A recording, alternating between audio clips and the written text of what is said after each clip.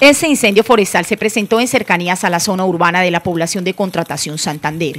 Fue controlado en las últimas horas por los bomberos de la región. Las llamas que alcanzaron al menos un metro de altura amenazaron con llegar a unas viviendas. Al menos dos hectáreas de bosque fueron consumidas por las llamas. Ramón Ramírez, director de gestión del riesgo de Santander, entregó un balance sobre los incendios que se han presentado en el departamento. Hoy amanecemos en el departamento de Santander con una tensión en el año 2018 es cercana a los 45 incendios forestales superiores a una hectárea en 24 municipios del departamento.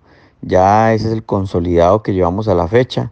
En la noche anterior, el incendio en el municipio de Contratación, en donde los organismos locales y la comunidad ha atendido y, y la Junta Departamental de Bomberos ha estado presta a enviar apoyo en caso de ser requerido. Es importante que usted evite las quemas controladas, dejar fogatas encendidas luego de paseos de olla y botar vidrios y botellas en zonas boscosas. Esto podría generar conflagraciones por las altas temperaturas que se vienen presentando.